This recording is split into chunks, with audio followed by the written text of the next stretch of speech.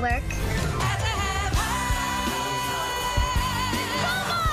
I even jingle jangled with a festive twerk. I'm not a regular tree, I'm a cool tree. It's time to tell you about my family history. She plays the piano. Listen to that music. Is that like country? My daddy's a tinsel and my mama's pom pom. Mix them together, it's a holiday rom com. Growing up, they told me to be true to myself. Zooey Deschanel. They encouraged me to share all the gifts that I own. They never made me feel like I was left home alone. So, sang at the White House. So ever since then, I've added wicked flair, more glow. Tried to be as colorful as a fruitcake. Yummo! Yummo. Food reference again. I hope tonight's performance will earn me gifts and not lumps of coal. So sit back and relax as I perform a song by the late Queen of Soul. They said like every Christmas movie. Yeah, Home Alone, Elf. Elf. Yeah, we're extra stumped. Don't flatter yourself. It Doesn't take much to stump me.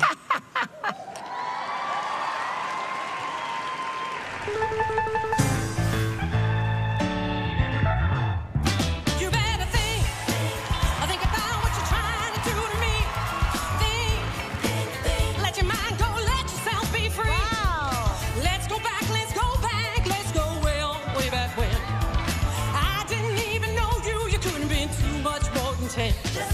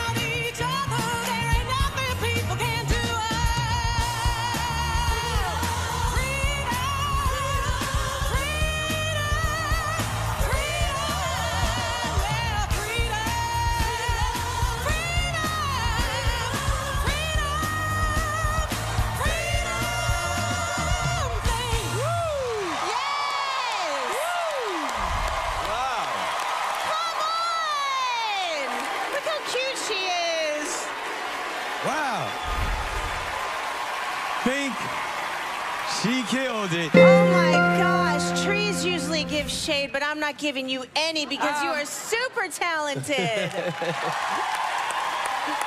I think I made a mistake and said that I didn't think you're a trained singer. I was obviously wrong. You're captivating. This was an incredible performance, and, and I think you gave Nick Cannon Poison Oak. So, um, Tree is feeling it.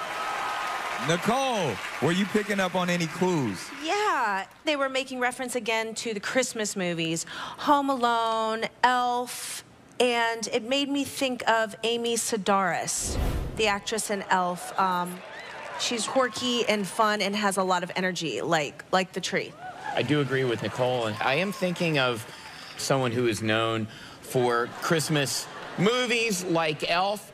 I was thinking of Zooey Deschanel, and actually, people in the know know like what what incredible mm-hmm. voice she has. That's a good guess. Great job, Zooey Deschanel. I guessed it. I'm probably right. You're welcome. End of show. Drop the mic.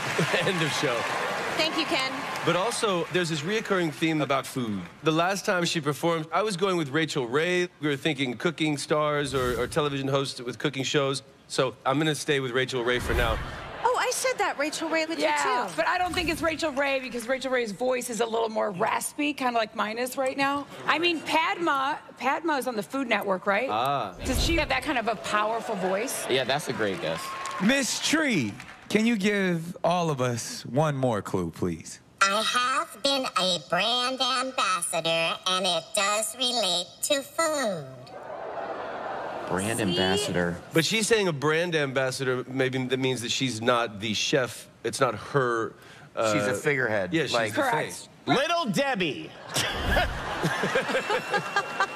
It actually did help a little bit. Nicole, did that help you at all? Not at all, thank you.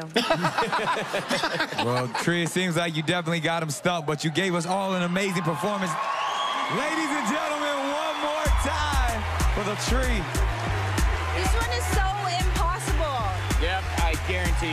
You, big. Yeah. That's right. They're trying to throw us.